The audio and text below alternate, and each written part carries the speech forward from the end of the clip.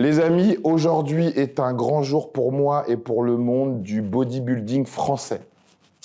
J'ai eu la chance d'avoir des personnes qui ont parlé de leur expérience du dopage que certaines personnes du milieu du bodybuilding professionnel et amateur français qualifient de trou de balle.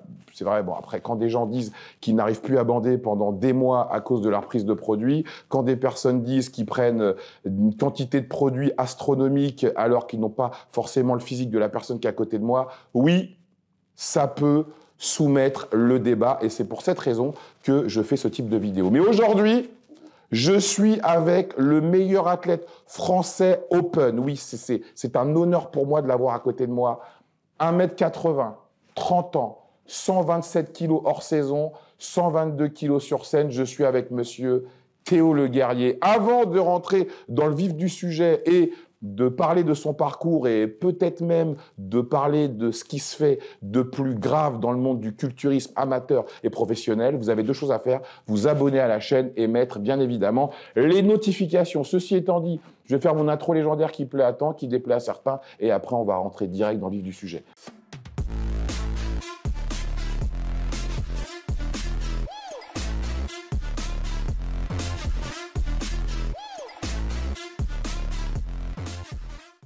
Les amis, si comme moi, quand vous rêvez le matin, vous avez la chance d'être de bonne humeur, car vous avez le bien le plus précieux qui existe, je ne parle pas de l'amour, je ne parle pas de l'argent, je parle bien évidemment de la santé, et que de surcroît, les personnes que vous aimez, et n'oublions pas, celles que vous n'aimez pas sont également en bonne santé, on peut le dire officiellement, aujourd'hui est un nouveau jour, today is a new day. Pour la petite histoire, les amis, euh, Théo, euh, à plusieurs reprises, sur des lives Instagram, a pu critiquer certains de mes intervenants. C'est les règles du jeu, donc euh, c'est quelque chose qui ne me pose aucun problème. Ça fait même avancer le public. Mais L'un de mes intervenants qu'il connaît personnellement, Florian Poisson, avec qui j'ai fait une vidéo exceptionnelle, lui a plu et il est venu en privé pour me dire que cette vidéo, il l'a trouvée vraiment très bien. Et c'est là où je vais proposer d'intervenir également et de donner son point de vue de professionnel, car c'est tellement rare que des professionnels comme lui viennent sur des chaînes YouTube comme la mienne où on parle sans langue de bois pour dire la vérité, toute la vérité sur le monde du culturisme. Donc Théo, franchement, c'est un putain d'honneur de t'avoir à côté de moi. Bah écoute, euh, merci. Hein. Quelle introduction les mecs. Hein. Ouais. Non, parce que euh, ce qui est important également, les amis, c'est que, bon, même si certaines de mes vidéos, je peux euh, diaboliser le monde du culturisme, le culturisme, c'est un sport que j'aime, que je pratique depuis des années, et des personnes comme Théo, ce sont des personnes pour qui j'ai une profonde admiration, même si pour moi, la compétition en culturisme, bon, c'est quelque chose que je trouve pas forcément hyper intelligent parce que ça demande beaucoup d'argent pour en gagner très peu, mais il faut toujours valoriser le travail des gens, car être un bodybuilder amateur, c'est déjà dur, et arriver à être un professionnel dans un sport qui requiert autant d'argent et autant d'investissement personnel, ça mérite vraiment le respect et je tiens à, te, à le dire. Je bah écoute, euh, merci, hein, merci clairement. Mais c'est vrai quoi pour la petite histoire, euh, moi j'aimais pas, j'aimais pas ce que tu faisais quoi. Clairement, on peut le dire comme ça, tu vois. Mais je te l'ai dit aussi. Oui, totalement. Donc euh, et ça n'empêche pas de, voilà d'être transparent avec les gens, même quand on n'aime pas ce qu'ils font. La personne, je la connaissais pas et je te l'ai notifié aussi. En ça, je ne connais pas la personne que tu es, donc je pouvais pas émettre de jugement là-dessus. Mais sur ce que tu faisais, voilà, en tout cas ça ça me plaisait pas et c'était pas mon délire. J'ai pas oublié de te le dire et en même temps de te dire aussi quand c'était bien. Mhm. Donc on peut ne pas être d'accord, mais néanmoins respecter se respecter les uns et les autres et en tout cas la personne que tu peux être que je ne connaissais pas. Donc voilà, là c'est l'occasion aussi de pouvoir un petit peu échanger là-dessus et euh, et voilà, faire un petit peu le tour euh, du schmilblick, comme tu dis, et peut-être même remettre certaines choses à leur place. Bah alors, qu'est-ce que euh, tu n'aimais pas dans mon contenu? Euh, bah, Ici, euh, tu as toujours dit on parle vrai, pas de langue de bois. Oui, ah, direct. Hein, hein, moi, clairement, c'était putassier, c'était putaclic, tu vois, clairement. Donc, euh, donc voilà, après, ça fait partie du bail euh, des réseaux, etc. Et c'est normal. De toute façon, voilà, demain, tu fais une miniature, tu mets un titre accrocheur. Évidemment, tu vas faire plus de vues, donc c'est logique. Mhm. donc bon, ça, clairement, au final, c'était le jeu. Maintenant, après, moi, étant bodybuilder, j'ai forcément un attachement aussi à ce sport. Donc, euh, j'étais, entre guillemets, impliqué émotionnellement par rapport à ce qui pouvait se dire là-dessus, tu mhm. vois. Et donc, moi, ce qui me gênait, c'était d'avoir certains intervenants ou, ou des personnes, voilà, qui pouvaient parler notamment de, de cure, de produits et patati et patata, et que ça donnait une image complètement faussée et que, pour moi, en tout cas, j'estimais dangereuse par mhm. rapport au, au jeune public. Parce que euh, t'as des gars qui vont raconter des dingueries. Absolument. Ouais. et, et même moi, le premier, j'étais le premier outré. hein, de Physiologiquement, je me dis, c'est incroyable comment c'est possible, tu vois. Donc, euh, donc voilà, ça a ternissé un petit peu l'image et la base de ce qu'est ce sport. Évidemment, on peut avoir des aides exogènes, c'est pas un souci et c'est pas un secret. Mais euh, sur la pratique et sur euh, comment les choses, les, les choses à respecter, et qu'est-ce qui est le plus important dans notre sport, je trouvais que c'était un peu piétiné et que c'était pas forcément un bon exemple à montrer aux gens. Mais voilà. Après, il faut tout pour faire un monde. Et donc voilà, il n'y a pas une vérité. On a la nôtre et il y en a plusieurs. Donc voilà, ce que je pense n'est pas forcément la bonne chose. Ce que tu fais n'est pas forcément la bonne chose. Mais l'important, c'est de pouvoir en discuter. Mais donc pour toi, qu'est-ce qui est euh, le plus dangereux dans les intervenants que j'ai pu avoir? Je pense les dosages qui, qui, qui disaient que eux prenaient d'ailleurs. bien sûr. Les dosages, évidemment. Les dosages, c'est. euh, tu as des mecs qui sont. euh, et c'est pas, c'est pas méchant encore une fois. Et je veux pas avoir la posture euh, du mec qui est euh, genre le meilleur athlète. Donc voilà. Mais, mais physiquement, en plus de ça, avec ce que les gens faisaient, ça collait pas du tout. Et tu vois que tu te dis, quand t'as même pas un, un bon physique amateur Ouais. et que tu commences à faire ça, c'est qu'il y a un méga problème.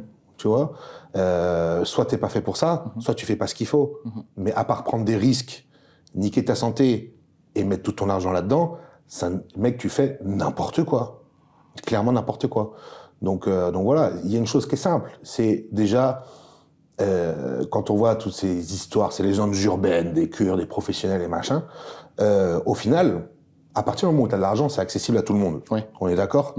Sauf que j'ai beau faire le tour de toutes les salles en France, je vois pas un champion du monde dans chaque salle, tu vois. Oui, c'est pour ça qu'en fait, euh, tu, tu comprends pourquoi certaines personnes, quand les pros ou des gens qui sont vraiment Ouais. dans le truc vont dire que euh, par rapport à- aux intervenants que j'ai pu avoir, qu'un pro ou quelqu'un qui a un haut niveau va prendre trois fois moins que ce qui est annoncé dans Ouais. certaines de mes vidéos. Et comme tu dis, bah, euh, dans les salles de sport qu'on fréquente, j'ai j'ai rarement vu des mecs aussi gros que toi. Mais en fait, c'est pour une raison simple et ça s'appelle juste tout simplement un raccourci, tu vois, et, euh, et que les gens, ça ne permet de pas les mettre face à eux-mêmes et face à ce qu'ils ne font pas bien. C'est plus facile de se dire que le mec il prend un truc que tu prends pas que de se remettre en question parce que tu ne fais pas bien les choses. Parce que là, tout de suite, ça veut dire que tu te mens à toi-même et les mecs, ils vont se remettre en question sur un truc qu'ils ne font pas bien. Déjà, ton ego, il en prend un coup. Ils disent, non, et s'il est mieux que moi, c'est pour ça. Non, mec, s'il est mieux que toi, c'est parce qu'il se couche plus tôt, parce que lui, il suit sa diète et il fait pas des McDo dans la semaine, et il le fait pendant toute une année, et quand il s'entraîne, il s'entraîne dur. C'est tout. Tu t'entraînes pas assez dur, tu n'es pas assez bon. Tout simplement. Et tu, tu penses que hum, les réseaux sociaux et cette industrie qu'il y a euh, avec les coachs sur Internet, Ouais. les marques de compléments, font croire que tout le monde peut arriver à avoir ton physique, alors que bah, quand on est plus jeune et qu'on a une certaine taille, on sait très bien qu'on va pas être un bon basketteur. Quand on commence par exemple la boxe anglaise, on voit qu'on n'est pas bon, on va peut-être essayer la boxe taille, on va être bon. Euh, tu crois que c'est dû à ça qu'on fait croire à- que tout le monde peut devenir un athlète et que les produits vont être la raison pour laquelle un individu plutôt qu'un autre n'y arrivera pas? Et la quantité surtout? Non, non, non, pas du tout. Euh, franchement, pas du tout. Et déjà, un, euh, j'impute pas du tout cette chose-là aux marques. Je pense que les marques ne font pas de. Ils utilisent l'image de certains sportifs pour vendre des compléments alimentaires. Ok? À aucun moment ils, il font il y a l'apologie une fausse pub, tu vois? Euh, je veux dire, les- tous compléments que tu prends, que ce soit la micronutrition, que tu sois chargé ou pas, tu vas en tirer un bénéfice si le produit est bon. Donc déjà, je pense pas que ça soit là-dessus. Mais en fait, euh, si tu veux déjà. Euh, il faut bien savoir, déjà naturellement, tu as des mecs natis qui ont des meilleurs physiques que des mecs chargés. Mhm. Donc, les produits n'y font, n'y font rien, ça. Les produits, ils vont être un accélérateur. C'est comme si demain, j'ai une, euh, je sais pas, j'ai une RS3 et je fais passer un stage 2. Mais à la base, j'ai une RS3, frérot, tu vois. Sauf que des RS3, il n'y en a pas beaucoup. Donc, euh, tu as plein de mecs déjà, il y a un aspect génétique qui est ultra important. Ouais. L'aspect génétique, euh, tu prends des gars, ils ont juste fait des pompes et des tractions, et ils ressemblent à des mêmes physiques. Et ils ont jamais rien pris. Et ils mangent des tacos le week-end. C'est donc déjà, tu, ah, principalement à la base, il y a quelque chose de génétique. Et après, il y a ce qui rentre en compte, c'est une éducation sportive. C'est-à-dire que les gens qui rentrent dans les salles, des fois, mettent 5 à 10 ans avant même de comprendre comment s'entraîner, comment ça marche, et de se faire mal. Moi, je suis arrivé dans les salles de musculation, je sortais de sport-études en gymnastique, je faisais 21 heures de gym par semaine. Pour moi, euh, si je pouvais être bon en gym, il fallait que ça me fasse mal. Mhm. Je savais que sans douleur, sans douleur, sans sacrifice, sans truc chiant, je ne pouvais pas être bon. Donc quand je suis arrivé dans une salle de muscu, j'y allais chercher ça aussi. Donc tout de suite, je me disais, si jamais je suis pas à l'agonie, si jamais j'ai pas mal, Je ne vais pas progresser. Mhm. Et ça, déjà, il y a- il y, a des gens, ils mettent des, des années déjà à avoir euh, cette construction et cette éducation-là au sport, tu vois. Donc, il y a ça. Et après, il y a une autre part, je sais pas si on peut appeler génétique, mais qui va être beaucoup plus mentale et qui va dépendre vraiment de la détermination que tu peux avoir et le courage Mhm. que tu as pour pratiquer ce que tu veux faire et le pratiquer au plus haut niveau. Euh, quand on parle de diète, euh, moi, ça peut m'arriver d'être en préparation pendant huit mois. Pendant huit mois, je suis en sèche. Pendant huit mois, je touche pas à autre chose qui a marqué sur ma diète. Mais rien. Pas de cheat meal, rien. Rien que Pas de sauce de substitution. il y a- pas de... euh, non, même pas. Ah non, non, non, jamais une, il y a même pas un sirop sans sucre, Mm. rien, tu vois. Et pareil en prise de masse. Je fais pas de cheat meal en prise de masse. Et, et ça, déjà aussi, c'est une faculté mentale. Il y a des gens qui n'y arrivent pas. Mm-hmm. Et ces facultés à pouvoir tenir dans le temps, à se restreindre et à tenir des choses qui sont compliquées. Et il y a aussi cette faculté à manger en quantité. Ouais. Pas La plupart des gens, et tu dois le savoir, toi qui es Ouais. longtemps là-dedans, qui te le, di- te le diront, euh, ils ont tout essayé pour être gros. Mhm. Quitte Ah oui, doubler les dosages, Ah oui, tout, tout, à faire tout et n'importe quoi. ouais. Mais ils n'avaient pas la capacité à manger. Mm. Parce que s'enfiler des assiettes de 700, 800 grammes six fois par jour, tout le monde ne peut pas le faire. Mm-hmm. Si, une journée, deux journées. Fais-le pendant quatre mois, la plupart du temps, euh, Oui, c'est un hein, C'est un métier. Donc déjà, il faut déjà pouvoir réunir tout ça, sans même parler de, de produits. Tu vois, tu, tu regardes plein de mecs, regarde Nathan Mozango, comment il était quand il était naturel. Ouais, ouais t'es déjà, t'es déjà gros. Ouais, donc il y avait l'aspect génétique. Par contre, regarde comment il s'entraînait déjà. Ouais, mais il s'entraîne dur, ouais, c'est un tueur. C'était un malade mental, tu le vois. mec, il- quand il s'entraîne, c'est la guerre. hein. Euh, pour prendre mon exemple, euh, moi, à, à, comment dirais-je, à 18 ans, je faisais 91 kilos à la salle. J'avais des abdos et des stries dans les pecs. Et je ne prenais rien. Je prenais rien. Mais à 17 ans, je faisais déjà des séries au squat à 170 kilos. Euh, la première fois que je suis arrivé dans une salle, euh, au bout d'une semaine, je faisais déjà du développé haltère avec les haltères de 40. Mais tu penses qu'aujourd'hui, il y a cette nouvelle génération qui, si tu leur dis, si on montre des photos de toi à cette époque-là, Ouais. sec, Mais ils penseront déjà que je suis ils, chargé. voilà, ils vont penser déjà que tu es bien chargé. sûr, bien sûr. Tu crois que maintenant, cette génération n'a plus espoir justement à ce que leur corps peut faire naturellement, juste grâce au travail et au temps surtout? Déjà, après, on n'est pas tous égaux. Ouais. Moi, comment j'étais à cet âge-là, il y aura certainement très peu de mecs à pouvoir l'être, déjà. Mais euh, donc c'est un peu ça aussi qui est faussé, tu vois, parce que c'est vrai que t'as des mecs qui sont naturels où tu te dis, même moi, je serais, même moi aujourd'hui à l'heure des réseaux sociaux, Ouais, on a un doute. ouais. j'ai un doute. Tu vois, je peux être troublé. Donc, euh, donc non, non, c'est compliqué. Et je pense que oui, les réseaux, ça a matrixé beaucoup, beaucoup de monde, que ce soit les hommes et les femmes, tu vois. Parce qu'il y a des choses qui sont anormales, clairement, euh, physiologiquement, euh, qui sont naturellement pas atteignables, et que des filles se pensent qu'en faisant du, euh, du kickback à une poulie, elles vont faire pareil. Mais non, ce n'est pas possible. Toi qui fais des, bon, qui, qui a fait des compétitions, les plus grandes compétitions amateurs, qui maintenant est professionnel, justement, quel, euh, quel impact ça a également sur toi, ton business? Parce qu'aujourd'hui, bon, tu es coach, est-ce qu'il y a des gens à qui tu as dit, bon, euh, franchement, je sais que tu pourras pas y arriver, donc ne t'investis pas là-dedans, Ouais. ne crois pas, fille ou garçon, hein, ne crois pas que tu pourras... Parce que moi, je fais une vidéo avec un gamin qui a 19 ans, lui, il a commencé les produits parce qu'il veut gagner Monsieur Olympia. Ouais. Bah, potentiellement, c'est possible, mais potentiellement, c'est plus impossible que possible. Ouais, mais tu sais, euh, déjà, je vais te dire un truc, c'est que moi, euh, là, je reviens d'Olympia, j'ai fait Olympia en Open, on est que cinq Français à l'avoir fait depuis la création Ouais. d'Olympia. Waouh. Euh, je rentre dans un club, même moi, je me dis, qu'est-ce que je fais là, tu vois, avec Francis Benfato, euh, Mhm. Benaziza et tout, je dis, wallah, je fais partie d'un club, euh, ça va, tu vois. Mhm. Mais même moi, à la base, je voulais pas, je me suis jamais dit j'allais faire ça. hein. Pourquoi? C'est step by step, en fait. D'accord, ok. Euh, parce que je fais ce sport parce que je suis un compétiteur. Je le fais pas pour être. Justement, tu crois pas Je le fais que... parce que je suis. Tu comprends? Ouais. Tu crois pas qu'aujourd'hui, justement, un gamin qui commence, Mhm. Il pense déjà à arriver au bout du chemin, alors que quand Bien toi, tu as commencé, ou même les Lionel Beyeke, Francis Benfato, ils- comme toi, ils sont allés step by step et ça leur est tombé dessus sans qu'ils euh, sans qu'ils le désirent particulièrement. Euh, déjà, euh, c'est parce que c'est la meilleure chose à faire pour faire les choses dans l'ordre et bien les faire. Et secondo, c'est la meilleure chose à faire si tu veux pas être frustré dans ta vie. Mhm. Parce que tu vois, imagine toi qu'un mec qui n'a encore rien fait se met comme objectif de faire Mister Olympia. Ah, Ça veut dire que n'importe quel entre guillemets échec au préalable sur une petite compète, comment il va le vivre? Ouais, bah, ça va le détruire tout de Et suite. comment il va le vivre? Mm. C'est pas possible. Même à l'époque où, euh, où je faisais des compétitions internationales pour avoir ma carte professionnelle, je disais pas genre ouais, road to carte pro ou je veux ma carte pro. Oui, mais justement, tous ceux qui le disent, les youtubeurs, les trucs, qui, les mecs, euh, road to Olympia, ils communiquent, ils communiquent. Bon, c'est bien, hein, ça Ouais, peut ouais. motiver les gens. Mais toi, qu'est-ce que t'en penses? Parce que toi, t'as quand même été dans le top 10 d'Olympia, quoi. Euh, je suis prêt. Je pense que franchement, je sais pas, euh, c'est un sport si tu veux où euh, ça, les gens, ils- on a beaucoup de gens qui viennent à ce sport-là pour différentes raisons Mhm. et notamment certains aussi pour se trouver une identité, Mhm. tu vois? Et je pense que ça fait partie du truc identitaire que maintenant adopter ces gimmicks de road to Olympia, de machin, qui te donnent une certaine crédibilité ou quoi que ce soit. Et alors que ça se trouve, ils se mentent à eux-mêmes, hein, ces gens-là, tu vois. Mais c'est, voilà, ils font partie d'un clan, ils font partie d'un truc. Euh, mais, mais pour moi, ça, ouais, non, moi je comprends pas, en tout cas, de communiquer comme ça. Si ça leur fait du bien, encore une fois, tant mieux. Mais je pense que la plupart des gens se mentent à eux-mêmes. Et tu sais quoi? Si tu n'y arrives pas, mec, c'est pas grave. Oui, mais justement, pour eux, ça devient. euh, faut qu'ils trouvent une excuse. Oui, euh, euh, j'étais pas au poids ou ceci, cela. Ouais. Trouver des excuses qui sont au-delà du fait que bon bah t'as pas été bon, t'as Mm. perdu. Il y en a d'autres qui l'ont Ouais, fait. C'est bien pas sûr. grave, quoi. En fait, euh, euh, moi, ce que j'aime pas, je peux critiquer les gens à partir juste d'un moment. C'est que le mec, en fait, il ait un discours qui ne soit pas en adéquation avec ce qu'il fait. Ouais. Tu vois, ça, ça me pose un problème. Euh, le mec qui se donne les moyens d'y arriver vraiment et qui n'y arrive pas, qui dit ouais, machin, ok, je comprends. Mais 95% des gens ne se donnent pas les moyens du discours qu'ils portent. Et ça, ça me dérange, tu vois. Parce qu'un mec, il va pas comprendre, ou il va aller critiquer un tel, ou il va dire, ouais, mais ça, ouais, mais si. Sauf que si tu reprends toutes les fois des choses que toi, tu n'as pas bien fait, que tu ne t'es pas investi à 100%, c'est- le problème vient de toi, mec, tu vois.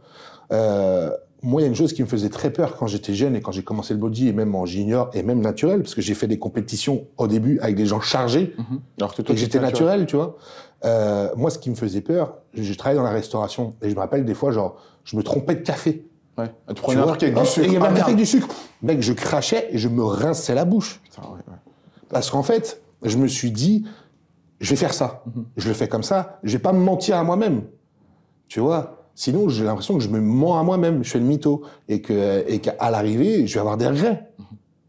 Donc non, si je me dis j'y vais pour la gagner, je fais tout ce qu'il faut pour la gagner, tu vois. Et encore une fois, euh, après les gens qui n'y arrivent pas euh, parce qu'ils en sont pas capables, c'est pas un problème. Je veux dire, aujourd'hui, il faut le dire à, à- à tous les gars, à tous les athlètes. Si demain vous n'avez pas de carte pro, si vous gagnez pas votre, votre compétition, c'est pas grave.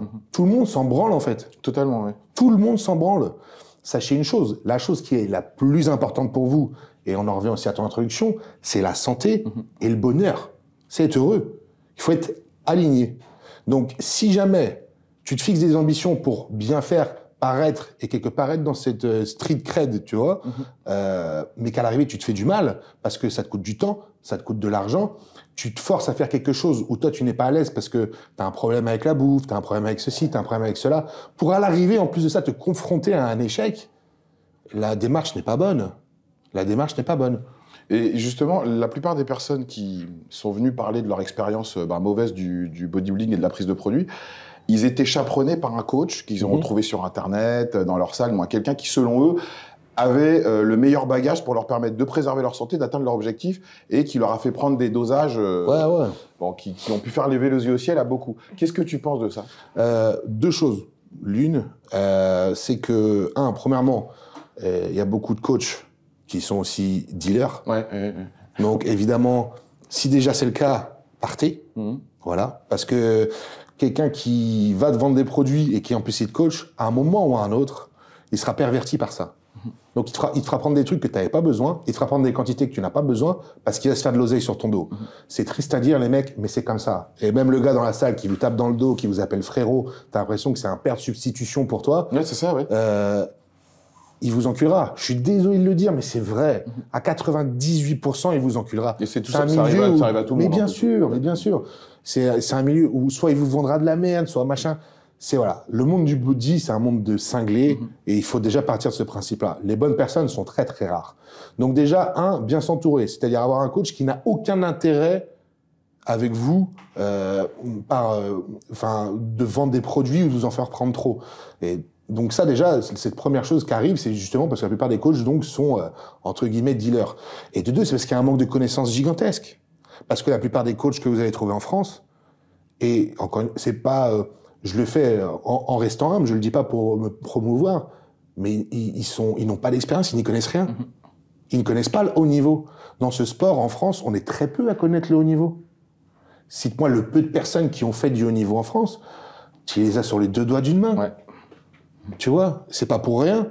Donc comment veux-tu que n'importe quel coach dans une salle qui te dit ouais, moi j'ai gagné l'Open de Saint-Prix en 86 dans une catégorie, même pas l'overall, tu vois, une petite caté. Et lui, il y connaît rien de ce qui se fait. Et c'est pas méchant encore une fois, mais c'est vrai. Et le fait que hum, certaines personnes, quand ils gagnent la carte pro, c'est comme s'ils avaient gagné la Coupe du Monde. Alors qu'aujourd'hui, hum, les, fédérations ont compris que plus il y a de concours amateurs, à l'Arnaud classique, en as dans tous les continents, ce qui n'était pas le cas avant. Euh, plus il y a de l'amateur, plus il y a d'Olympia ici et là. Euh, plus des, gens vont participer, les gens qui participent payent, et comme tu sais très bien, le public qui vont voir les compétitions de bodybuilding, c'est les amis, la mmh. famille des gens qui participent. Donc c'est devenu une industrie qui fait croire à tout le monde que le fait d'avoir une carte pro, c'est un truc de ouf. Ouais, mais ça c'est le business, gros. Ça, c'est le business. Mais c'est normal. Demain, euh, quand ils veulent te vendre des Nike, euh, ils vont te faire croire que tu vas être champion du monde du 100 mètres. Mmh. Mais c'est normal. Mais en fait, à partir du moment où tu comprends que c'est du business, il n'y a pas de problème. Hein. Puis tu sais, les Américains, tu leur dis ça, ils l'assument. Hein. Ouais. Il n'y a aucun souci là-dessus. Mais aujourd'hui, oui, une carte pro, déjà, un, c'est beaucoup moins dur que de l'avoir auparavant. Il mm-hmm. faut le dire ce qui est. Ah oui, totalement, oui. c'est... Euh, moi, je suis tombé dans juste l'année où il y avait la scission. Oui, euh, entre les deux. Et euh, pour te donner un exemple, j'ai fait le San Marino. C'est ma première, mon premier Olympia amateur. Mm-hmm. C'était le San Marino. Il y avait aussi le San Marino Pro. Et si tu veux, je crois que dans ma catégorie, c'était Dani Kaganovic avait gagné, me semble. Mhm. Euh, et aujourd'hui, les, euh, genre le top 8 de cette compète-là, on est tous pros. D'accord, ok. Tu vois Ah ouais. On est tous pros. Le top 8 de cette compète-là même. Mhm. Mais je te cite tous les noms qui sont là, c'est des mecs qui font les top 5 dans les pro shows. D'accord, ok. C'est pour te dire qu'à l'époque, il y avait une densité de niveau. Mhm. J'avais fait d'ailleurs cette compète avec Morgan, tu vois. Il y avait une densité, c'était incroyable, tu vois. Le champion d'Europe en body, il avait fini 9 Putain. Tu vois donc c'était, euh, c'est une autre époque, quoi. Mhm. Clairement, tu vois. Donc déjà aujourd'hui, la carte pro, elle vaut plus, plus, plus vraiment grand chose. Et eux, après, ils font leur business comme quoi, ouais, c'est la clé de beaucoup de succès, notamment les gens qui veulent se mettre à faire des coachings. Ils disent, quand j'aurai ma carte pro, j'aurai beaucoup plus de clients, etc. Ça doit peut-être certainement jouer. Après, c'est dommage que ça repose juste sur un papier, mais bon. Et au-delà de ça, il y a beaucoup de gens qui pensent qu'en ayant une carte pro, ils vont gagner de l'argent. Mais il va tomber où l'argent? Bah, euh, grâce aux sponsors de compléments hmm. et grâce au coaching en ligne, non? Non, c'est faux. Les coachings en ligne, peut-être ça va t'aider, mhm. mais sponsor de complément, non Regarde, euh, n'importe qui là derrière votre écran, mhm. mettez-vous à la place d'une société de compléments alimentaires. Mhm. Vous quel est votre intérêt de donner de l'argent à quelqu'un ou de sponsoriser quelqu'un? C'est si vous en fait gagner. Totalement. Donc le sportif, les mecs, on n'en a rien à foutre. Clairement. Aujourd'hui, les gens qui gagnent le plus d'argent avec les sponsors sur cette planète ne sont pas les sportifs. C'est tout. Donc, les gens qui pensent qu'on a une carte pro ou qu'ils ont fait un gros résultat, en plus se pensent légit d'avoir un sponsor, genre ouais, je comprends pas, j'ai pas de sponsor. Mec, t'as 4000 abonnés sur Instagram. Mm. Quel est l'intérêt de la marque? C'est pas méchant hein, quand je dis ça. Vous vous sentez pas, c'est pas réducteur, euh, mais demain vous avez une marque de compléments alimentaires, vous vous en battez les couilles que le mec il ait gagné sa carte ah, pro. Ce que vous voulez, c'est quelqu'un qui vous fait marcher votre marque. Mm. Donc, c'est un autre travail à faire qui n'est pas sportif. C'est un travail de promotion, c'est un travail commercial et c'est un travail d'image sur les réseaux. Et donc toi, aujourd'hui, euh, maintenant tu vis que de ta passion. Ouais. Donc toi, comment tu as fait justement Ce que ça veut dire que quand tu travailles dans le milieu sportif, il mhm. faut qu'également tu penses à filmer tes entraînements, à filmer ce que tu manges, à faire du contenu également euh, pour la marque de complément qui te paye pour que ta communauté euh, consomme ce que tu leur proposes et ce que toi tu consommes personnellement. Donc, faut avoir une équipe avec soi. comment ça se passe? C'est pas donné à tout le monde. Bah en fait, c'est très comment dirais-je, moi j'ai débuté juste en achetant une caméra, un machin, un truc, tu vois. Après, j'ai pas euh, la prétention d'être un influenceur ou youtubeur ou ce que tu veux, mhm. mais ce qu'il y a, c'est que je me suis constitué une communauté qui est vraiment engagée. Donc même si je suis pas le mec le plus suivi sur Instagram, euh, les gens que j'ai sont vraiment engagés et demain, euh, bah, du coup, vont plus me soutenir à acheter avec mon code ou machin et tout. Ils sont, c'est pas les gens de passage, quoi, tu vois. Donc j'ai une certaine crédibilité auprès d'eux. Mais en fait, j'ai tout simplement bossé et investi. Mhm. Tu vois, l'investissement au début, il est passé par une caméra, investir du temps pour faire les montages, etc. Et petit à petit, tu investis dans un vidéomaker, tu investis dans machin. Mais il faut savoir que demain, si tu veux continuer à, à performer là-dedans et du coup à être mieux payé et compagnie, le jour où tu gagnes plus d'argent, tu investis tout de suite.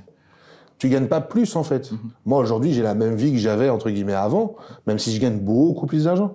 Mais parce qu'en fait, tout cet argent-là, il repasse dans autre chose pour continuer d'évoluer constamment, tu vois. Aujourd'hui, donc, es chez Yamamoto, qui est, pour moi, la marque body. Ils ont Patrick Tuor, ils ont Neil Young, qui sont pour moi, ils font partie des meilleurs coachs au monde dans notre sport.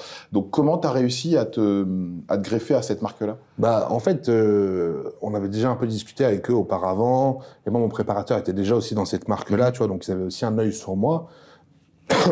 et puis, euh, bah, tout simplement, après, j'ai commencé euh, à faire des euh, à faire des résultats sportifs en professionnel qui qui leur a quand même bien mis la puce à l'oreille, tu vois. Ils avaient pas d'athlètes euh, en France, Ouais. donc ils se sont dit quel est le plus légitime? Et qui en même temps communique. Mhm. Et du coup, c'est tombé sous le sens, quoi, tu vois. Mais je faisais des top 5 euh, dans les pro shows. Hein. D'accord. Donc, ce qui est déjà des mecs qui font qui sont professionnels, et jamais ils verront un top 5. Hein. Donc, ça veut dire que toi, aujourd'hui, tu as une double pression parce que vu que tu vis maintenant de ta passion, Ouais. tu as une obligation, entre guillemets, de réussite dans, sportivement, que ce soit pour ton business, pour tes sponsors. Et plus tu fais des meilleures places, plus tu as une bonne visibilité, plus ça te ramène du coaching, plus ton sponsor est Ouais, content. en fait, après, c'est un, un équilibre, tu vois. Ouais. C'est un équilibre. Comme t'as des mecs euh, qui être dans le top 5 qui vendent rien. Mhm. Et comme t'as des mecs qui sont euh, genre 20e et qui ont des contrats beaucoup plus gros. Mhm. En fait, c'est un balance à trouver. Et ce balance-là, il est à trouver toi personnellement dans ce qui te fait le plus kiffer aussi. Parce que la vie, ça reste ça, tu vois. Mhm. Encore, une, encore une fois, c'est le fait d'être aligné avec toi-même. Donc, aligner le, le sportif et le professionnel à côté. Mais évidemment, c'est une pression. Euh, faut savoir qu'aujourd'hui, être sportif de haut niveau, c'est être entrepreneur. Ouais. C'est pas être sportif de niveau, c'est entrepreneur. Au même titre qu'un mec qui prend des risques avec sa société, qui si demain sa société se plante, il a plus rien, parce que nous, c'est la même chose. Mhm, On est sous les mêmes régimes sociaux. Mhm. Euh, sauf que, en fait, mon fonds de commerce, c'est WAM. Donc, j'investis là-dedans et compagnie. Donc, compétition, euh, professionnelle, etc. Et du coup, effectivement, c'est beaucoup de pression et c'est beaucoup de choses. Euh, certaines personnes, des fois, ne peuvent pas nécessairement le comprendre. Mais euh, tu peux avoir des fois cette angoisse, tu sais, de, de bien faire ou cette angoisse de dire ah, j'ai pas fait trop bien ce qu'il fallait là et tout, faut que je me rattrape, euh, faut que je travaille plus, etc., etc., etc. Donc ouais, c'est quand même pas mal de pression et évidemment, euh, quand tu prétends avoir des gros contrats, plus tu gagnes de l'argent, plus tu te sens aussi redevable quand tu es éduqué normalement, tu vois. Absolument, ouais, ouais, quand tu te Donc, branles pas. ouais. Voilà, donc euh, plus tu commences à être bien payé, plus tu te dis putain merde, là si cette compète là, je fais de la merde, ils vont quand même se dire euh, bon euh, Théo il est bien sympa, mais euh, voilà quoi. Donc euh, ouais non c'est un tout, c'est une... à gérer et c'est évidemment beaucoup de pression. T'as parlé de vivre de sa passion, mais il faut savoir une chose, c'est que euh, en fait euh, quand tu professionnalises une passion, ça n'est plus une passion. Ouais, c'est un métier. ouais. Tu vois, c'est un métier. Et euh, en fait, à l'époque, le, enfin en tout cas à l'époque pour moi et pour beaucoup de gens euh, à qui c'est le cas, c'est que ta passion, c'est tu travailles, t'as ta vie, ton machin, et t'as ta passion à côté qui, ce n'est 100% qu'un bon moment. Mhm. C'est un loisir, quoi. Sauf qu'aujourd'hui, ce bon moment-là, j'ai greffé toutes les contraintes de la vie. Ouais. Tu vois, j'y vais pas juste pour prendre du plaisir. J'y vais parce que je dois y aller. Ah, donc t'as moins de, de plaisir qu'auparavant? Des fois, Ouais. Ah, d'accord, ok. Bien sûr. Mais il y a des fois, je me dis, qu'est-ce que je fous là? Pourquoi je fais ça? Mhm. Ben évidemment, évidemment. Sauf que bah euh, là où avant tu te dis, bon bah écoute, vas-y, je fais un peu de pec et je rentre. Bah non, là je peux pas, mec. Je peux pas me le permettre. Ouais, tu peux plus, ouais. C'est comme si toi t'allais au boulot demain et tu dis, bon, euh, t'as un restaurant, vas-y, putain, ouais, bah tu sais quoi, vas-y, je ferme ce midi. Mhm. Ben non, tu peux pas. Donc euh, même quand ça me fait chier, même quand je suis pas motivé, j'essaye de de prendre sur moi, même quand je suis blessé, même tout ça. Et cette hécatombe qu'il y a eu dans le, dans le monde du culturisme, soit amateur ou professionnel, est-ce que ça te fait peur par rapport à ce que tu nous dis, où maintenant tu peux plus reculer, faut que tu avances encore plus, ou peut-être que tu grossisses encore plus, tu es de meilleures conditions physiques? Est-ce que quand même cet aspect-là, quand on voit des athlètes comme Cédric McMillan, Sean Ouais. Roden, qui sont quand même les meilleurs mondiaux, qui, qui je pense, euh, faisaient bien les choses, parce qu'il y a ce truc, les gens disent oui, les pros font mieux les choses que les amateurs, quand on voit que c'est Pas tous. Ce type de personnes-là meurent de manière prématurément. Mm. Est-ce que toi, ça impacte également euh, ton, ton parcours sportif ou ce, que, ce à quoi tu aspires Ouais, euh, après, il faut savoir qu'on a aussi été dans une période où beaucoup de sportifs sont morts. Ouais. Déjà. Oui, il n'y a pas que dans le monde du Tu culture. vois Donc, déjà, euh, le pourcentage de gens qui sont morts dans le culturisme n'est pas plus élevé que dans le football. Mhm. Et c'est un fait, tu vois. Et il est moins élevé que dans le football américain, Ouais. tu vois, et moins élevé que dans la boxe. Mhm. Donc, déjà, il faut remettre les choses à leur place. En termes de pourcentage, bien évidemment. Maintenant, il y a des choses, il y a des gens qui les font pas bien. Sean, c'est quelqu'un que j'ai connu personnellement. Ouais. Tu vois, et, euh, et Stan, qui est un très bon pote à moi, euh, lui vivait avec lui. Ils Wow. vivaient ensemble à, à Las Vegas. Il faut savoir que Sean avait déjà eu des problèmes De santé. de santé, tu vois. Et quand tu as des problèmes cardiaques, et que tu continues pas à faire de la musculation. Tu continues pas de le faire, tu vois. Euh, et puis c'est un gars qui a une phobie des hôpitaux. Il allait à l'hôpital voir son père une fois et il est reparti, son père est mort, tu vois.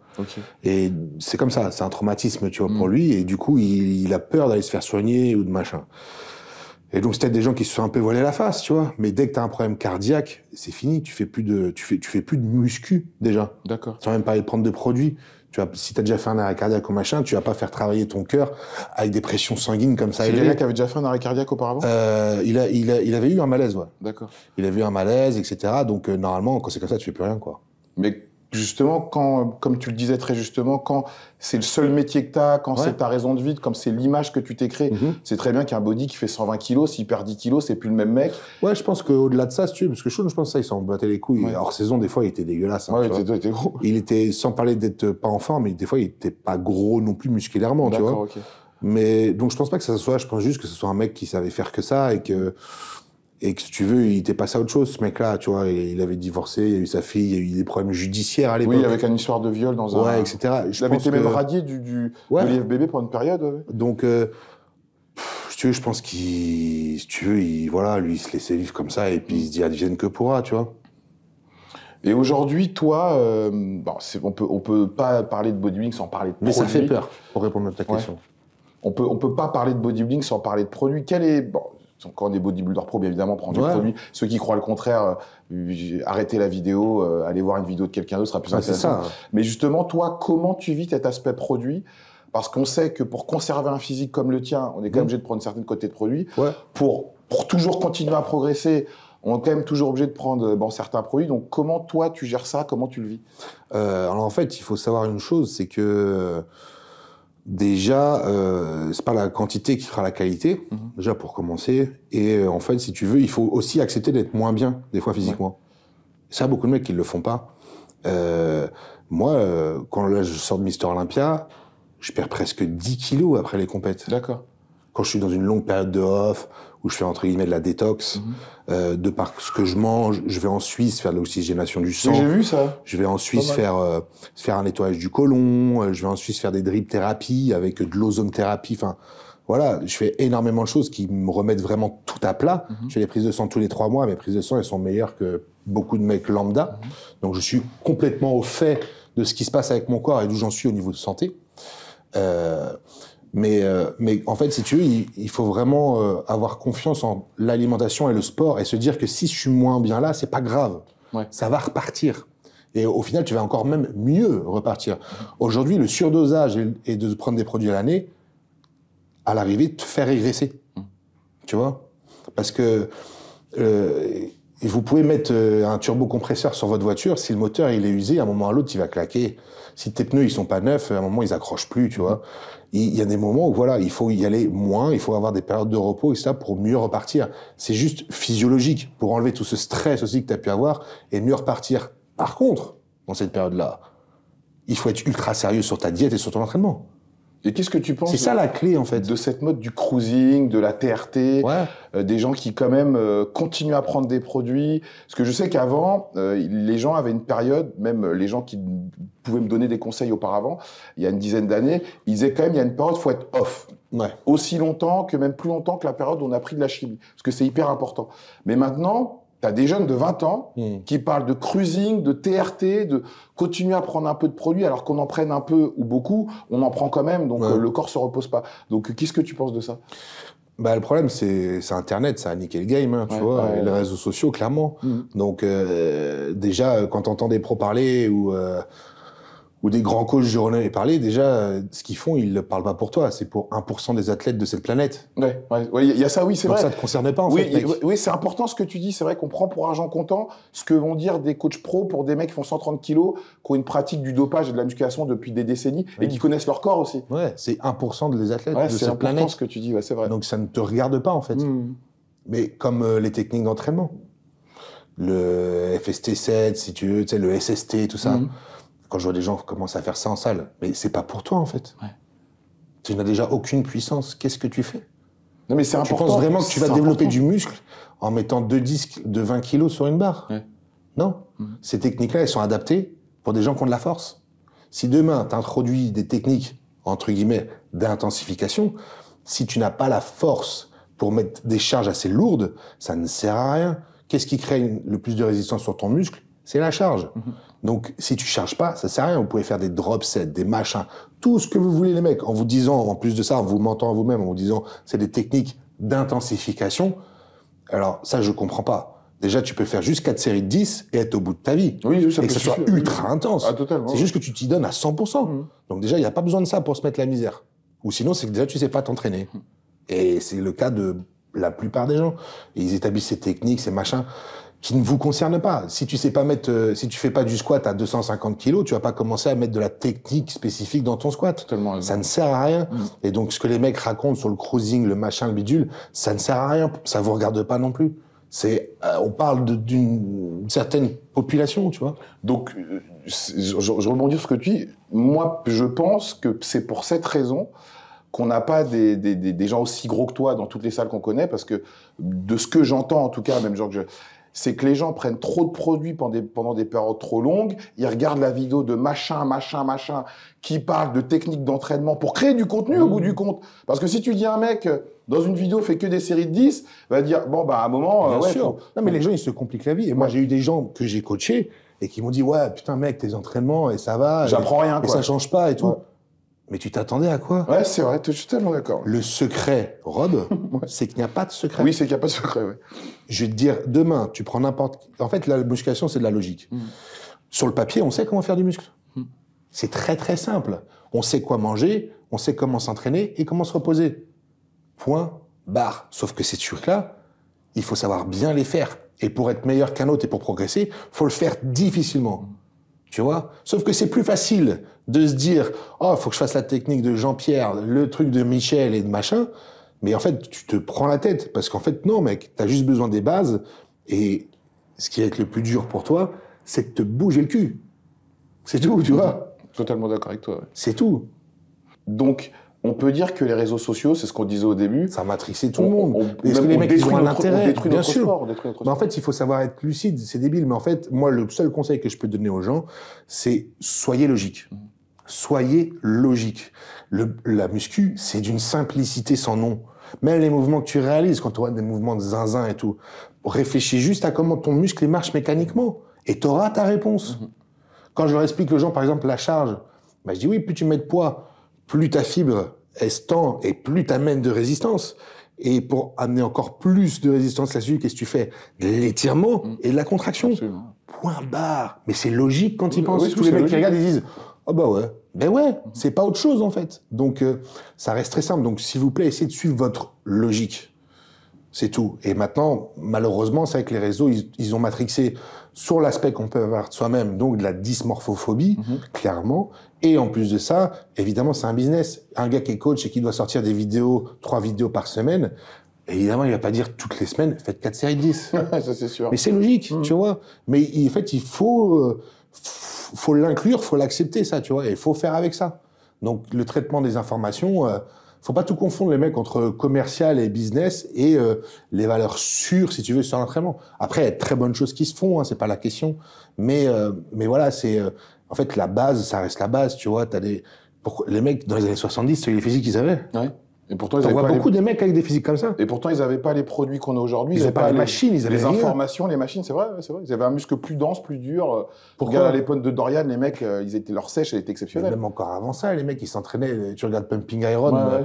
ils s'entraînaient, les mecs. euh, déjà, s'il y avait un tirage horizontal, c'était déjà Mm. incroyable, tu vois. Les mecs, ils s'entraînaient dans des garages avec zéro connaissance et ils étaient trois fois mieux que des mecs aujourd'hui. Comment t'expliques ça crois, tu crois que c'est pas dû justement à la, à- parce qu'à l'époque, moi, quand je regardais les Parce premiers, qu'ils se mettaient la misère. quand je regardais les premières vidéos de Ronnie Coleman Unbelievable, je regardais pas en me disant qu'est-ce qu'il prend? Ouais. Je regardais comment il s'entraînait, je regardais. Mais est-ce que tu es Euh, venu d'un autre sport? Bah non, Ok. non, mais moi, si tu veux, je regardais vraiment l'aspect, tout ce qu'il faisait. Les produits, c'est pas un truc qui préoccupait. Ouais, Même si tout, je savais ouais. ce qu'ils en Mais maintenant, quand tu regardes un athlète, quel qu'il soit, tu vas te demander qu'est-ce qu'il prend? Ouais, c'est triste. C'est tout de suite ça, en fait. Moi, tu sais, franchement, je te jure, j'ai pendant plusieurs années, j'ai jamais réfléchi au produit, quoi. Et je pense que je devais être un peu, euh, un peu con, tu vois, parce que pour moi, il y avait, plein- enfin, je pensais pas que les mecs, euh, genre, il y avait des catégories avant qui s'apparentaient à classique physique. Je Ouais. pensais qu'ils se dopaient pas, tu vois.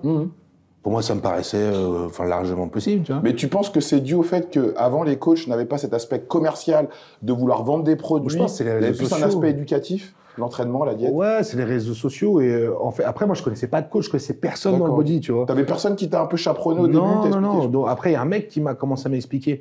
Mais au tout début, je débarquais, j'étais sportif de haut niveau dans un autre sport. Mhm.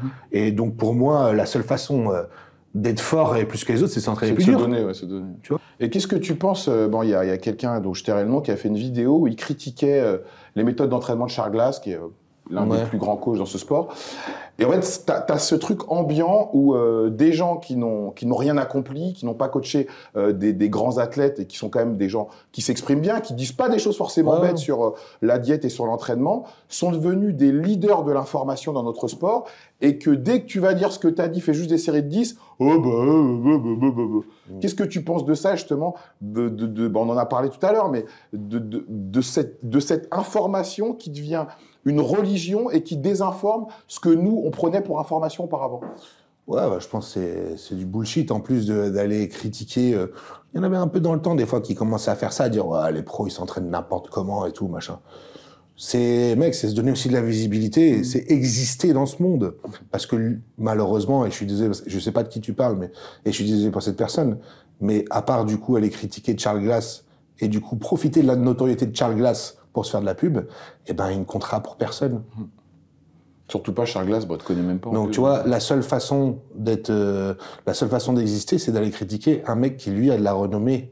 C'est quand même triste, tu vois. Et qu'est-ce que tu penses également de certaines personnes qui ont fait des vidéos en disant que le Larry Scott ça servait à rien, que le, pour développer euh, la partie haute des pecs, faire le développement incliné, ça servait à rien?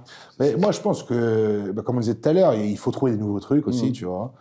Et, euh, et les gens, ils se compliquent trop la vie. Ouais. Ils se compliquent trop la vie, quoi. Ah, de ouf. hein.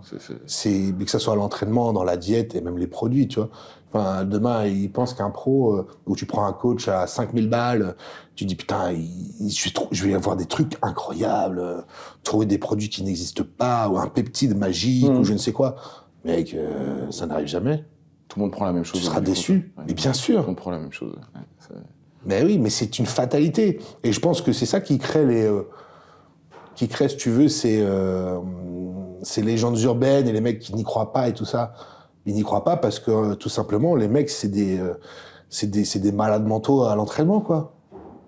C'est, euh, faut bien comprendre une chose, c'est que s'entraîner comme un bodybuilder pro, c'est pas donné à tout le monde. Surtout si t'es pas pro et il s'est pas entraîné comme ça. C'est euh, pas donné à tout le monde, tu vois. C'est euh, en fait, il faudrait pour tous les gens qui regardent, ils doivent très certainement se souvenir d'une très grosse séance qu'ils ont faite, hmm. tu vois, ou avec un pote ou machin, où ils se disent putain, là, on a fait une séance d'enculé, on s'est éclaté. Bah, s'entraîner pour être pro et être un bon professionnel, c'est ça tous les jours. Ouais. Que tu aies envie ou pas, que tu aies mal ou pas. Mm. Tous les matins, moi, je me réveille, j'ai mal partout. D'accord. Tous les matins, je me réveille, je suis, Ah des fois, j'ai de la fièvre. Mhm. J'ai de la fièvre parce que je me suis entraîné dur. Mais donc pour toi, qu'est-ce que tu prépares? Tu prépares qu'une compète dans l'année Olympia ou Non, Faut que tu te euh, qualifies? j'ai fait huit. euh, six- je crois que cette année, j'ai fait six concours. D'accord, ok. Ouais. Six concours. euh, donc après, tu essaies d'avoir plus ou moins une stratégie, si tu veux. Euh, et déjà, un, pour se qualifier. Cette année, j'étais qualifié au point. J'ai quand même fait une compète parce que je voulais quand même en gagner une avant d'y aller. Une compète pro, quand tu la gagnes, t'es qualifié d'office. D'accord. Là, je sais pas pourquoi, je la sentais bien. Et je me suis dit, ouais, tu sais quoi, j'allais la gagner. Chose qui s'est passée, tu vois. Et en plus, j'ai pris un chèque. Bravo. Parce que j'ai pris 10 000 balles au Ah, passage. tu c'est énorme. Ouais, c'est bien. Beaucoup, c'est beaucoup, Jimmy. Donc, euh, et puis ça fait monter ton nom, Mhm. tu vois. Donc, euh, et les mecs, même, et, et pour te dire que même aujourd'hui, il y a des gens dans la muscu, euh, même en professionnel, certains, bon, c'est pas le haut niveau, hein, mais d'autres qui comprenaient pas, ouais, pourquoi t'es venu, machin. Il y a plein de gens qui comprenaient pas pourquoi j'y allais à cette compète alors que j'étais qualifié pour Olympia. Parce que t'as envie d'y aller, non? Il y a plein de gens, et ils m'ont dit là-bas et tout. Mais je dis, mec, je suis bodybuilder professionnel, c'est mon métier. Si demain, je viens ici pour faire monter mon nom et pour prendre 10 000 euros, mais je vais bien, venir, gros. Oui, c'est bien, oui, totalement. Oui, ouais. Si tu sens bien, tu sais qu'il y a des compètes où. il- Ouais, mais il y a Olympia derrière. Ouais. Mais mec, à Olympia, j'y vais pas pour gagner. Hmm. Tu vois Autant que je vienne là et je prenne 10 000 balles, tu vois C'est mon métier. Et euh, pour terminer, euh, est-ce que pour toi, en vraiment toute objectivité, hein, même si on se connaît tous plus ou moins, Ouais. euh, est-ce que pour toi, tu as des bons coachs en France qui peuvent, bon, pas des coachs de remise en forme, mais qui peuvent s'occuper, par exemple, euh, d'athlètes comme toi qui prétendent à faire Olympia ou des gros concours internationaux Non. Je, suis- je suis d'accord. hein. Non. Je suis d'accord avec toi. moi. Après, il n'y en a pas beaucoup dans le monde non plus. Oui. hein. On a combien dans le monde pour toi? Est-ce que tu peux nous en citer euh, En Europe, déjà en Europe? Je pense qu'en Patrick Europe, Tuor. Ouais, t'as Patrick, Mauro qui me coach, et euh, t'as peut-être un gars en Angleterre, tu vois, et Francisco Espin qui est en Espagne.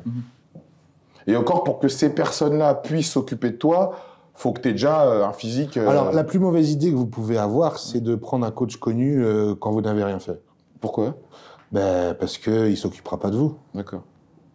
simplement. Vous allez, le- vous allez l'aider à vivre, Ouais, ah, mais, c'est très classe. Ça, ouais, ouais, tu vas raquer, mais. mais, mais ouais, à moins que vous ayez un potentiel ou une génétique incroyable.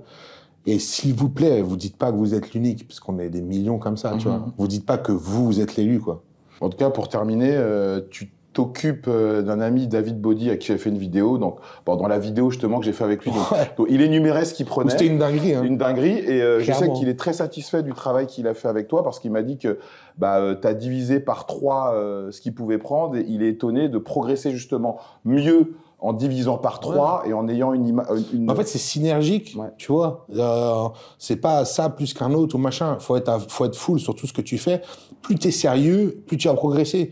Euh, moi, je m'en suis rendu compte. J'avais une bonne génétique, etc. Mais à chaque fois que j'ai augmenté le curseur sur euh, mon sérieux à la salle, mon sérieux dans la diète, parce que le reste, euh, c'est pas, c'est pas compliqué, hein, Ouais, tu vois. Et ben putain, j'ai vu ce changement, tu vois. Mais moi, je peux vraiment le dire. Et j'ai pas d'intérêt à mytho aux gens, je m'en fous, tu vois. Mais vraiment, le changement radical, moi, dans le niveau dans lequel j'ai accédé, c'est pas grâce aux produits. C'était les mêmes qu'avant, tu vois. Mhm. C'est mon sérieux dans tout ce que j'ai fait. J'ai augmenté les curseurs partout, tu vois. Un mec qui fait, euh, qui pendant deux jours de sa semaine, il fait pas le régime, parce qu'il se dit, ouais, le week-end, ça va. Ça veut dire que tu perds deux jours sur ta semaine. Ça veut dire que sur un mois, tu as perdu une semaine. Ouais. Et ça veut dire que sur un an, tu as perdu combien? Ouais, c'est vrai. Bah ouais, bah moi, pendant tout ce temps-là, j'ai progressé, frérot. Oui, mais justement, pour terminer, c'est hyper important ce que tu dis, c'est que euh, on voit sur les réseaux sociaux l'important du cheat meal. Euh, il y a une névro justement Ouais. autour de l'alimentation et du fait qu'il faut pouvoir se relâcher. Alors moi, j'ai connaissé les bodybuilders avant, je connaissais des mecs, pour eux, un cheat meal, c'est manger du riz blanc. Ouais. Voilà. Et pour eux, ça. Tandis qu'aujourd'hui, vraiment, c'est les... une recharge, quoi. voilà, les gens aujourd'hui, ils- même les gens qui n'ont pas de physique, pensent à faire des cheat meals. Ah ouais. Il y a, moi, quand j'ai fait la vidéo avec la montagne, la montagne m'a dit, le mec fait 140 kilos, qui mange 8 repas solides par jour. Bah ouais. Et ça, c'est pas donné à tout le monde, putain, Bah non. manger 8 putains de repas solides par jour, quoi. Ah non. Donc, Et euh, euh, le cheat meal, euh, il y a. Explique-moi une logique dans le cheat meal.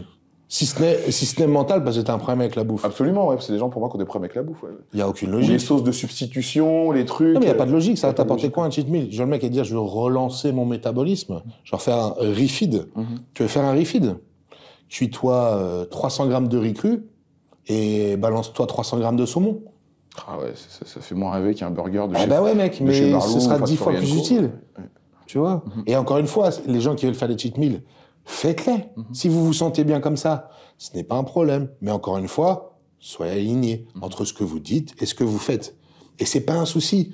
Tu vois, tu n'es pas un loser parce que tu n'arrives pas à tenir une diète. Et le jour où tu t'enlèves ça de la tête, vous allez beaucoup mieux Bah, vivre, important. être bien dans vos chaussures. C'est important ce que parce que tu as des gens, bon, c'est très bien ce qu'ils font, hein, c'est toujours bien de motiver les gens, mais tu as des gens qui font des, euh, des vidéos, on va dire, de, de développement Mais il y a personnel. une course aux super-héros, en fait. en t'expliquant que si tu sais pas suivre une diète, t'es une merde. Si tu fais pas ton entraînement, t'es une merde. Et que si tu y arrives, Non, non, ouais. euh, c'est comme si tu avais monté un conglomérat immobilier où tu avais sorti ta famille euh, du besoin. Mais on n'est pas de des Avengers, tu vois. Ouais, bah ouais, ouais, ouais. Et moi, je suis pas un Avenger. Mm. Je suis très bon, par exemple, dans là, ce que je vais faire. Je vais, être- je vais avoir une mentalité d'acier dans ce que je fais. Mais il y a d'autres choses où, où plein de gens qui nous regardent sont bien meilleurs que moi. Mhm. Je suis pas bon partout. Je suis bon dans un, dans un seul domaine, tu vois. Il y a plein d'autres trucs où je suis pas bon. Et plein de gens sont plus forts. Donc c'est pas parce que je suis comme ça que je suis plus fort que les autres. Tu vois Et il faut arrêter cette course à vouloir être un Avenger. Et si t'es pas capable de faire cette diète-là et machin, et que c'est trop dur pour toi, mec, c'est pas grave. Si ça te rend pas heureux ce que tu fais, que t'es pas bien dans tes baskets et que tu te frustres et que tu trouves pas le bonheur, ne le fais pas. Et c'est pas grave. Il faut, les mecs, euh, si vous avez des problèmes mentaux, des problèmes de motivation, etc., vous n'êtes pas des merdes. Loin de là. La merde, c'est la personne qui va s'enfermer là-dedans, qui va continuer à se faire du mal, juste pour continuer à parler à ses potes. Et ben, si ces potes-là, les gars, ils vous jugent et ils vous crachent dessus parce que vous n'êtes pas capable de faire ça, c'est que ce ne sont pas des amis. C'est que ce ne sont pas des bons amis pour vous. Et à moyen ou à long terme, vous finirez par être malheureux dans votre vie et passer par une phase qu'on n'a pas envie de passer, qui peut être une dépression ou quoi que ce soit. Recentrez-vous sur vous-même, ce qui vous fait du bien, ce dont vous avez besoin, mais vous. Pas ce que vous avez besoin de montrer aux autres, pas ce que les gens attendent de vous. Faites quelque chose qui vous rend bien, vous. On peut dire que c'est le mot de la fin, les amis. Faites quelque chose qui vous rend bien. Vous, Théo, merci beaucoup pour cette interview incroyable. Bah, écoute, merci. On a parlé de tout, on a parlé de mindset, on a parlé de beaucoup de toi également et du monde du Ah, bodybuilding. pas assez de produits, toujours les mecs, hein, je suis désolé. Non, bon, on en a parlé, mais bon, de toute façon, les amis, tout le monde prend à peu près la même chose. On n'est pas là pour. Et moi, c'est vrai que j'ai fait certaines vidéos où les gens parlaient du dosage, de ce qu'ils pouvaient prendre, pour décrier également et pour permettre aux gens de pas faire ce genre d'erreur. Mais ça a pu potentiellement peut-être inciter des personnes à faire la même chose que ces personnes le faites pas, qui, le qui faites me pas, regardaient. clairement Quoi. pas. Donc, euh, donc c'est vrai que moi, depuis que je fais mes vidéos, il y a beaucoup de gens, beaucoup de gens qui se délient quand même euh, Ouais. dans le monde de la musculation. C'est bien, même des athlètes connus comme Bien Phil sûr. Heath en a parlé, même euh, Chris Bumstead, bon, a dit à demi-mot ce qu'il pouvait prendre. Mais c'est vrai qu'il y a un truc qui est sûr, Mais c'est les qu'on- gens, ils sont fous avec Chris Bumstead sur ce Ouais. qu'il a dit. Mais mec, c'est une réalité. hein. Ouais, c'est ce que tu m'as dit, les trois. Bon, on va pas dire aux gens, mais oui, c'est que dalle. Il y a, fait. il y a, bah, on peut le dire, enfin, Ouais. on peut, on peut le dire plus ou moins, Ouais. mais euh, il y a un cycle de base et tous les préparateurs professionnels connus qui écouteront ça se diront, bah ouais, et on le connaît tous, Mhm. c'est le 300, 300, 300. Putain, 300 de ça, 300 de ça, 300 de ça. Terminé, merci, au revoir. Wow. Deux, trois cachetons à la fin et c'est fini. Putain. Sauf que n'importe quel amateur dans les salles, ils prennent plus que ça. Mais beaucoup, mais beaucoup plus, oui. Tu mais, vois mais, mais, mais, mais- mais beaucoup Mais plus. ce que je te dis, c'est vrai. Et je le dis, et c'est pas moi ce que je fais. Ok, parce que nous c'est plus. Mhm. Mais par contre, c'est une réalité. C'est, euh, il y a vraiment les classiques physiques à Olympia qui font ça. Putain. Et venez pas me pisser dessus en disant que je suis un mytho parce que j'ai rien à y gagner. Ouais, c'est vrai. ouais. Tu vois ce que je veux dire? Ok, merci beaucoup Théo. Comme je dis dans toutes mes vidéos pour terminer, euh, tu aimes mieux être aimé pour ce que tu es plutôt qu'être aimé pour ce que tu n'es pas. Et la jalousie, ça se méritera toujours les pouteaux. Théo, c'est un honneur que tu étais là avec moi. Franchement, pour moi, que tu sois là avec moi sur ma chaîne, c'est comme si je passais un cap. Ça veut dire que au moins j'ai la chance d'avoir des bodybuilders sérieux Ouais. euh, qui, euh, ont- qui prétendent à faire des grandes choses dans ce sport et surtout qui veulent amener quelque chose de différent extra sportivement et on a besoin de plus de gens comme toi dans ce sport plutôt que des fous qui veulent juste prendre des produits pour, se, pour plaire aux autres plutôt que se plaire à eux-mêmes. Mon gars, Merci. t'as une grosse main, putain. Ouais, bah tu vois. hein.